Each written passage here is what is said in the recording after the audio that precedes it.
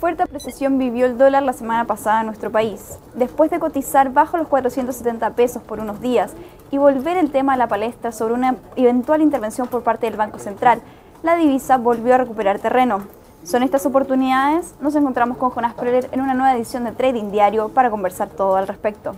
Buenos días, Jonás. Buenos días, Antonella. ¿Qué posición podríamos tomar en cuanto a esta divisa? Bueno, eh, respecto a lo que tú estabas diciendo, efectivamente em, las intervenciones verbales lograron eh, frenar un poco la caída del dólar que llegó a cotizar algunos días incluso 4.67, 4.68, pero finalmente la, fuerte caída que tuvo el, precio del cobre fue lo que logró como revertir esta tendencia eh, que venía presentando, esta tendencia a la baja que venía presentando la divisa durante la, em, las últimas semanas. Puntualmente, de hecho, se acopló mucho que el cobre fue perdiendo precio, fue cayendo su precio las últimas dos semanas y eso coincide con la, recuperación que en este caso tuvo el dólar frente, eh, frente al peso.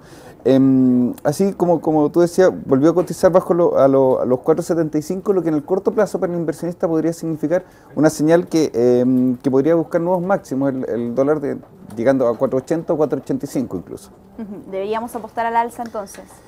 En el corto plazo sí, el, análisis que hace Capital FX es que em, efectivamente la, tendencia que está teniendo en este minuto el dólar es eh, a corto plazo, por todo lo que hemos hablado, por un poco la volatilidad que se está dando en los mercados, que los inversionistas nuevamente están apostando como por el dólar como, eh, instrumento, eh, perdón, como instrumento refugio. El diferencial de tasas que se está dando, em, el, repunte que está teniendo el cobre durante la última jornada, eso ha, motivado, digamos, que la, curva se, cambie un poco de sentido y se vea como hay una tendencia a largo, o sea, una tendencia a corto plazo de recuperación que podría llegar a los 485.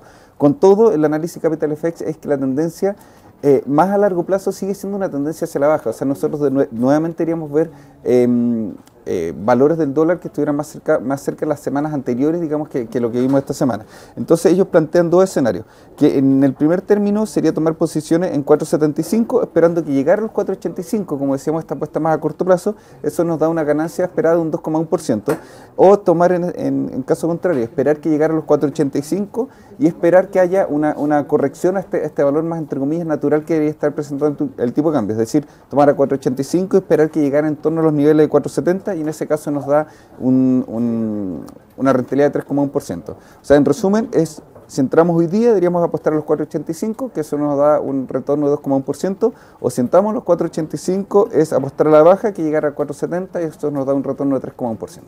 Muchas gracias, Jonás, por este comentario. De nada, Antonella.